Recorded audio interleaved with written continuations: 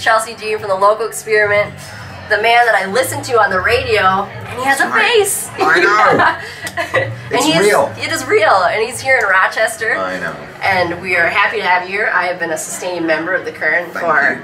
I don't know how many years, not a founder, but certainly No, once I found it, fell in love and had to help it out. So I want to know what is it like being in Rochester and having a 10th anniversary? My It's gosh. always special for me, Chelsea. Um, I love telling this on the air, so I might as well tell you guys that my uh, first date with my wife uh, 14 years ago was to come down to Rochester and see her show at the Rochester Art Center because she's a ceramic artist.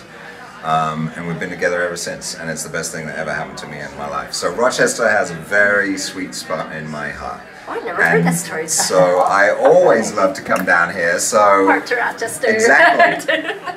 And to be honest, the Rochester Posse was something I started saying early on when we come on 10 years ago, and people picked up on it, and uh, people like being part of it. And uh, so we always have to do something special for the Rochester Posse whenever we're celebrating anything. And uh, this is a big celebration for us 10 years. We never even thought we'd be around for 10 years. It's nuts. I mean, I've never done anything for 10 years before. So, um, we needed to do something special for Rochester, and that's why I'm here. And Doggery is awesome. They just opened, and they're big fans of the station, and they got Zest Catering to come in, which is out of control, and Third uh, Third Street Brew House as well. So something that you know we don't talk about a lot on the air, but it's important for us to build a community. That it's not just a music station. Being public radio, we've got to build community. So to have the idea of these like three uh, independent companies coming together to help us have an event in Rochester is totally what the station is all about. It's what we set out to do.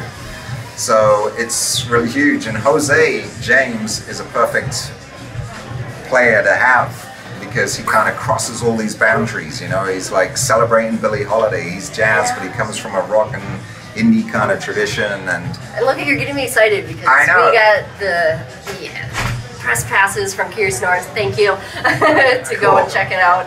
Um, so thank you so much, Mark, for being here.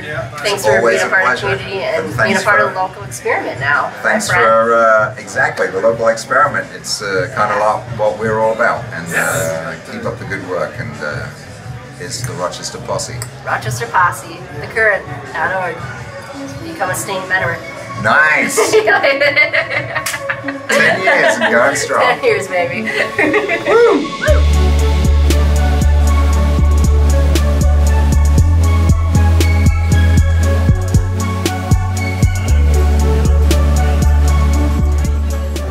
coming down, everyone. This has been a super success. We couldn't do it without you. There'd be no point in putting these things on if we had no one show up. And you guys all showed up, and it's off the hook. So thank you, thank you, thank you. Just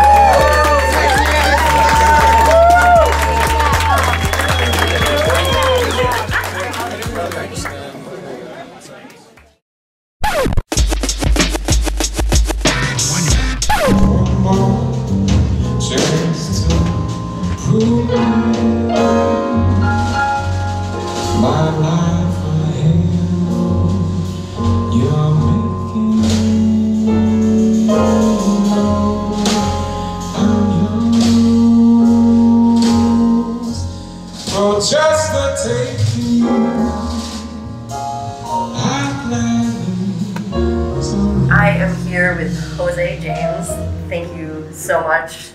The performance was, I don't know, I, I don't have words for it. I have to come up with words. You gotta come up with some words. I gotta come up with some words, but I gotta soak this all in because it was beyond anything I was expecting. so you. thank you. And I wanna know um, what was it like being in Rochester? What was your experience here? Well, you know, I'm, I'm from Minneapolis, so I know the vibe of Minnesota, you know. Um, but I haven't been here for a while, and so it was kind of like, okay, remembering just the culture, you know, how people are, how people talk. Um, I live in New York now, so people are not as overtly friendly. So that always surprises me when people are like, "Hey, how are you?" And I'm like, "What?" You know, I don't remember that yeah, anymore. like this Minnesota nice smile. Yeah, you know, it's like it's, you still got it It's really good. It's really good. You know, um, my bass player's from Kansas City too, so we have like a midwestern vibe Okay. in the band. Um, and it's been great. Everybody's been super nice. Beautiful hall.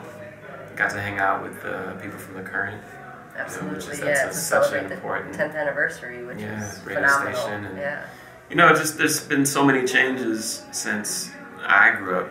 You know, in what the in the '80s in the Twin Cities. You know, it's really it's a different place. You know, Minnesota's a different place in, in a lot of ways. So it's really interesting to come back and sort of feel the the changes.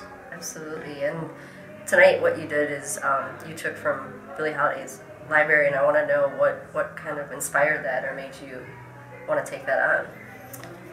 Yeah, well, you know, I, I'm not a kind of person who wants to do um, just like some tribute to like make money or you know what I mean. Absolutely. This is this is her uh, centennial, and she shares the same birth year with Edith Piaf and Frank Sinatra. So there was something hundred years ago, something happening that year. Actually, Edith Piaf and Frank Sinatra, I think, were born like seven days apart. It's really interesting. Like three of the world's greatest singers are all uh, celebrating hundred years, and I just felt like, in in some ways, even to this day, Billie Holiday remains underappreciated. Not necessarily for her jazz singing. I think everybody's like, okay, her, Louis Armstrong, Ella Fitzgerald. You know, it's a very short list of like the top five. Nat King Cole. yeah. Um, but there are other things that are, are, I think, important, especially now, about her work and her legacy. Um, you know, she was a feminist. She was very progressive um, socially and about gender and sexuality. Uh, she obviously was an activist against racism, against prejudice, and she was very outspoken. I mean, and, and the thing that I try to kind of make people understand is she was Beyonce of her time. Yeah, that's actually You know, of the she was the highest paid black female entertainer in the world. Like she was making astronomical money. Yeah.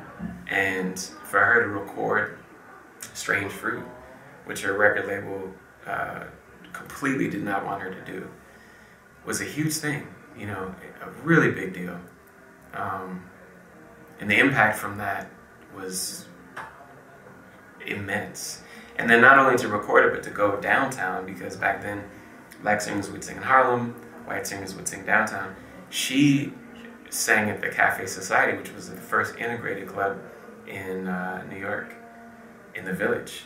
So it was like this really, you know, way before the '60s and the Cultural Revolution. This was like really early, um, and all the all the meanwhile like reinventing the American popular songbook night after night. So for me, you know, I can't. I could go on and on and on about Billie Holiday, but. Um, Please do. I'm actually feeling quite. yeah, I mean, I just, I just, I also thought it'd be quite interesting for a, a man to interpret a female artist. I feel like that doesn't happen too often, especially. It really doesn't. That that's kind of what uh, surprised me about it, or hit a chord with me in a different way, maybe as a woman too, or something. Just Yeah, to, to feel that you, I don't know, it you took. How do I? I'm trying to find the right words for it, but you didn't take it and make it a man's song. mm, You know, Yeah. like you kept it hers. But that's right. And that 'Cause was, it's that was- powerful, yeah, it's know? powerful. That was beautiful to me. Thank you. So, and your last song was humbling, incredibly humbling. Yeah, I mean, it's it's crazy, man. You know, just what's happening right now. Like, I mean, I used to live in London, and so I have a slightly different perspective now. I'm obviously an American, mm-hmm. but living somewhere else just makes you kind of shift your perspective. And watching the news every day about the place you live from another culture's perspective is very interesting. Yeah, I know? actually was lived in Costa Rica and did Yeah. that when Obama was coming up and like seeing their yeah, Right? it does. It's totally different. It's totally different. And I mean, just you know, my drummer is from London, and he's just like when all this stuff was happening with Mike Brown and Ferguson, and he was calling me like, "What is? I don't even understand." He's like, "What's going on?" And I was just like trying to explain it, and he just doesn't get it on a fundamental level because you know, for everything we say about Europe, and it has its you know problems, obviously. Of course. That does not happen, you know, not every day, not every week, not not really ever. Very rarely. So it's like it's a good time to just kind of remember uh, the role that jazz played in social protest in the '60s to Max Roach and Charles Mingus, in the '50s, and um, it's a it's a it's a deep thing. So for me, it just feels like timely, and I'm sort of glad that I'm not out singing my kind of like normal Jose James. Mm-hmm. Let's get down, you know, like having a good time tonight. And I mean, I love that, but it's just not what I'm really feeling in my heart right now. I kind of feel like these are heavy times. I want to remember some powerful things and, and remember a powerful woman as well. Well, I'm gonna tell you an honest note of being just, you know, obviously I'm Caucasian. Uh, I I felt a moment of truly being able to understand and accept in a way that I didn't feel capable of before. Mhm. So thank you Thank you. for that, and that was a strong moment Mhm. and really beautiful. So Thank you so much. and happy anniversary, the current. There you go. Thank you so much. You're welcome.